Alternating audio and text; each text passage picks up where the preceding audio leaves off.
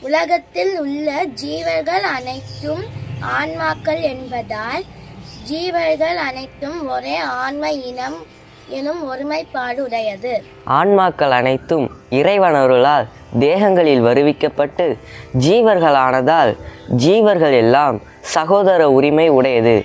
அதுவே ஆன்ம உரிமை. அந்த உரிமையால் ஒரு ஜீவனுக்கு துன்பம் உண்டாகும் பொழுது அதை கண்ட மற்றொரு ஜீவனுக்கு உருக்கம் உண்டாக வேண்டும். அதுவே ஆன்ம உருக்கம்.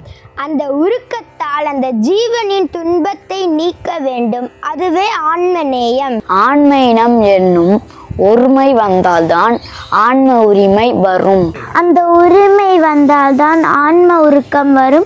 அந்த உருக்கம் வந்தால்தான் ஆன்ம நேயம் வரும். அந்த ஆன்மநேய ஒருமைப்பாட்டு உரிமையை கொண்டு உயிர்களுக்கெல்லாம் உதவி செய்தல் வேண்டும். உயிர் கொலையும் புலாலுணவும் தவிர்த்து உயிர் இரக்கத்தை வளர்த்து தனி பெரும் கருணையை பெற்று பேரின்ப பெருவாழ்வில் வாழ வேண்டும். பெரும்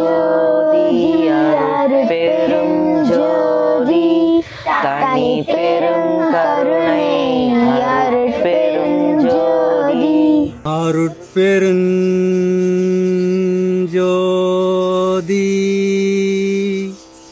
அருட்பெருஞ்சோதி.